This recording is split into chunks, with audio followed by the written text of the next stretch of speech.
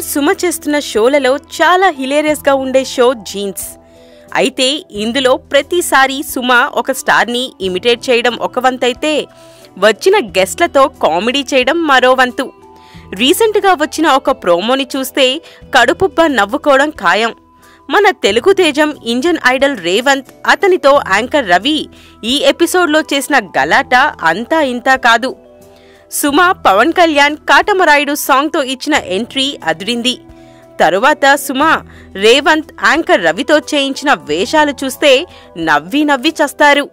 ఆ షోలో రవి శ్రీముఖుని పట్టుకొని కూర్చున్న ఫోటోని చూపించినప్పుడు రవి దాన్ని చూసి అక్కడున్న ఆడియన్స్తో నా బ్రతుకు నాశనం అని అన్నాడు. ఆడియన్స్లో నుంచి వచ్చిన ఒక అమ్మాయి రవిని డార్లింగ్ అనటం రేవంత్ దానికి సెటైర్గా ఫ్రెండ్షిప్ సంబంధం అనటం ఆ అమ్మాయి పరిగెత్తుకుంటూ వచ్చి రవిని హక్ చేయటం అందరినీ షాక్కి గురిచేసింది. ఇంతకీ ఆ అమ్మాయి ఎవరు? రవికి ఆమెకి ఏమైనా పరిచయం ఉందా? అన్నది అందరి డౌట్. ఇక సుమ వేసిన మరో ప్రశ్న రవి సినిమాలో పని మనిషి పాత్రని శ్రీముఖి లాస్యాలలో ఎవరికి ఇస్తావని అడిగితే రవి హవభావాలతో తన ఎక్స్ప్రెషన్స్తో తెగ నవ్వించేశాడు. ఇంతకీ తన సమాధానం ఏమై ఉంటుంది?